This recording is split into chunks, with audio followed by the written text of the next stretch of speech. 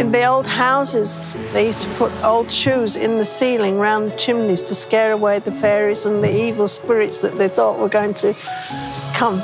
And I've actually seen some of these shoes that have been retrieved from roof spaces, you know. You can go in these old houses and you can imagine all sorts of things.